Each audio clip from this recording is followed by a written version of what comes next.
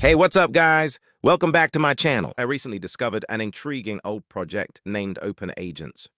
It's an open source platform designed for language agents operating in real world scenarios. This framework allows for the deployment of autonomous AI agents either through applications or as tools and plugins. Interestingly, you can configure it to manage your operating system. OpenAgent seeks to integrate various tools to augment their functionality, creating an intelligent agent that focuses on user needs. Currently, you can deploy three distinct types of agents through OpenAgents, each tailored for different application scenarios. First, there is the data agent designed to assist with code generation and data tools. Second, the plugin agent allows you to harness the potential of real-world applications via a plugin system. Lastly, the web agent enhances internet navigation and browsing capabilities. Let's explore the capabilities of the data agent deployed by OpenAgents. Welcome to the Xlang Data Agent demo tutorial. Today we'll explore how this powerful AI assistant can assist you with various data-related tasks. Let's jump right in. Now, if I ask for some stock price datasets, the data agent will utilize the Kaggle search tool to find relevant datasets for our analysis.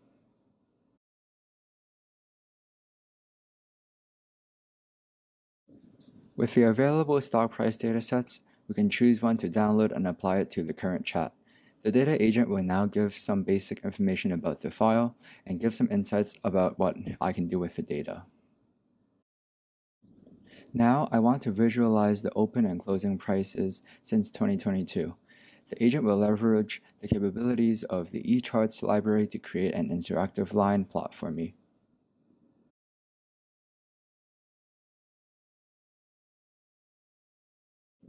I can also ask the agent to do some model training, like an ARIMA model specifically on the closing prices.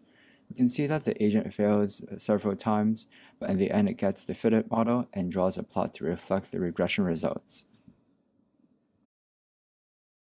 Furthermore, I can also continue the previous turn and ask for an overall summary about the trained model.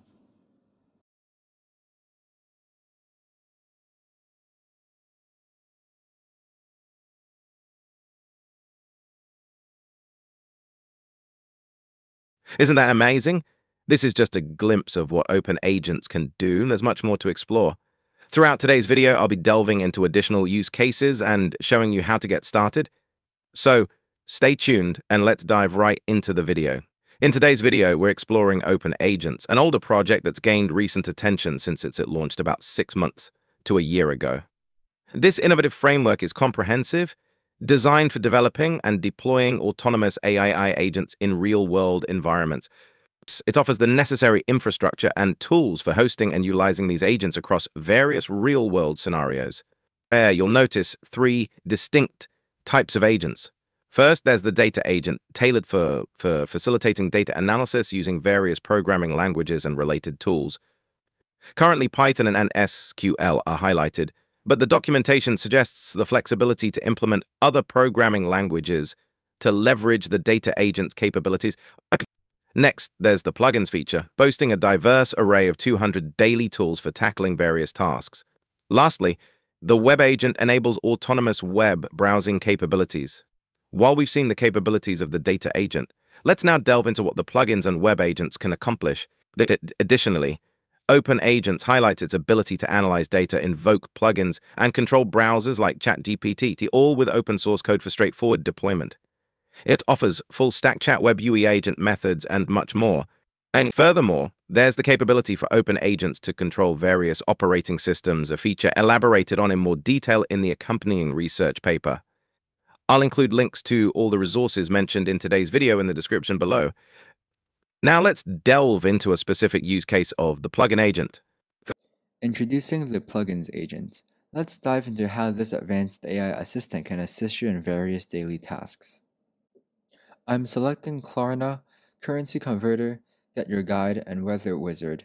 It's worth noting that the plugin selection can be automated using the auto feature. I have asked about attractions in Toronto. The plugin agent taps into the Get Your Guide plugin and presents recommendations in a visually appealing format, complete with images.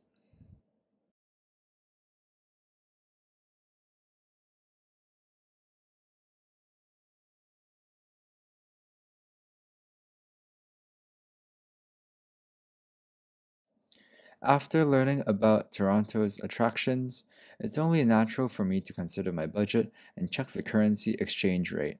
With the plugins agent, this information is just a question away. Now I'm curious about the weather. A simple query is made and the agent prompts for more details. It's intuitive, understanding the necessary information to interact with its plugins. Once I provide my travel dates, the plugins agent employs the Weather Wizard plugin to fetch the weather forecast.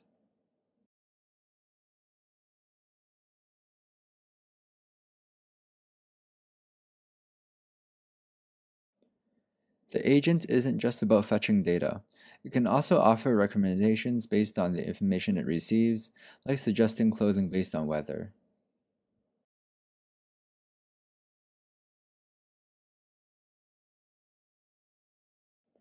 From the suggestions, if I find items of interest, I can inquire further.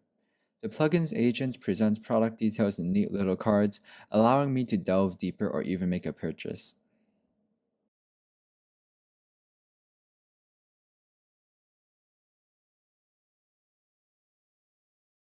As you observe, the plugin agent is designed to leverage a collection of 200 diverse plugins.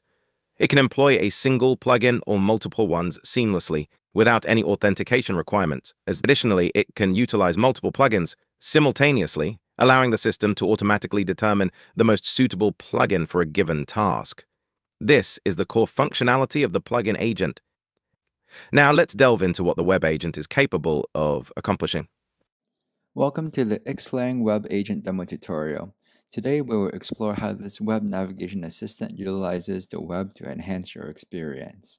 Let's get started. The user is entering a request and the website will call the web agent to fulfill it.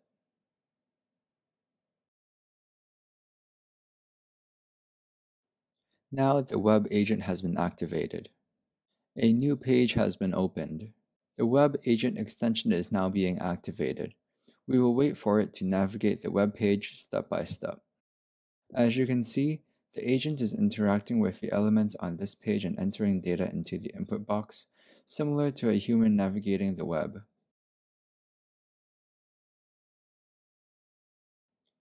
The web agent has now completed its task and returns the information to the chat interface. Now the agent is summarizing the movie comments for the user. Now the user can input another query.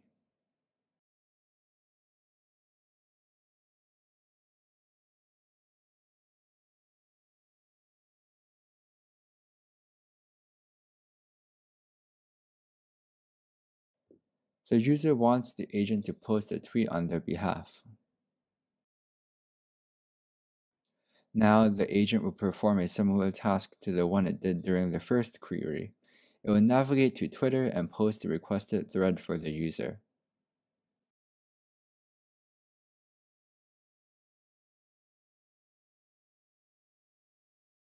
It's truly fascinating to witness the web browsing capabilities of OpenAgent. Now, let's recap the data agent. It comes packed with tools for efficiently handling, manipulating, and visualizing data not only is it useful for data-related tasks, but it's also employed for code generation. With the data agent, you can execute code and work with a variety of programming languages, all within the Open Agent framework. After reviewing the research paper, I stumbled upon a fascinating benchmark assessing various autonomous AI agent frameworks. Among them are Autobot, Baby AGI, and several others renowned for deploying web agents to accomplish diverse tasks. Additionally, there's Open Interpreter, where Open Agents stands out for its online capabilities and human feedback interface. This feature enables interventions with different prompts and generations, enhancing its versatility and effectiveness. Furthermore, Open Agents boasts a web-based user interface that can be deployed in real-world scenarios. This interface offers over 200 diverse tools and plugins, leveraging the web to generate a wide array of functionalities. This capability positions the Open Agent Framework as a leader, outperforming numerous other agent frameworks in the field. And the Open Agents platform comprises two main components, the user interface and the language agent. The user interface acts as a bridge between the user and the agent, managing communication, back-end operations, and various other components. On the other hand, the language agent encompasses the language model, different toolsets, and environments. It drives the decision-making process of the agents based on inputs received from the user interface, saying the interactions typically begin with the user's needs. When a prompt is sent, it first goes through the user interface. Then it bridges back to the language agent to determine which specific tasks should be undertaken by the various language models, tools, and environments.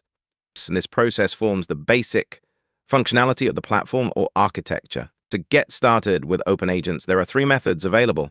Firstly, you can utilize the local host deployment method, where you can build it from the source. Alternatively, Docker is a highly recommended method for getting started with Open Agents. Simply follow the provided instructions to compose the Docker build of Open Agents. However, if you prefer to try it out on your local host, they offer a free demo that you can use to get started. If you click on the link, it will redirect you to a page where it may take a little longer to load.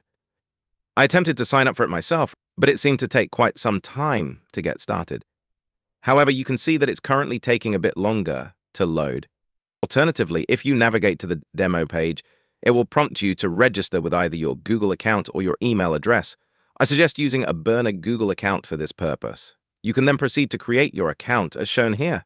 Simply continue with your Google account, and you'll be able to start using the web interface of Open Agents. This is how you can get started on the cloud, and that wraps up my video on Open Agents. I highly recommend giving it a look. Despite being relatively old and not receiving frequent updates, it remains functional and ready to use. Open Agents streamlines the creation and deployment of various autonomous AI agents. I'll reference all the links in the description below so that you can access it right away. Make sure you follow us on Twitter, and lastly, make sure you guys subscribe, turn on notification, bell like this video, and check out our previous videos so you can stay up to date with the latest AI news. But with that thought, guys, thank you guys so much for watching.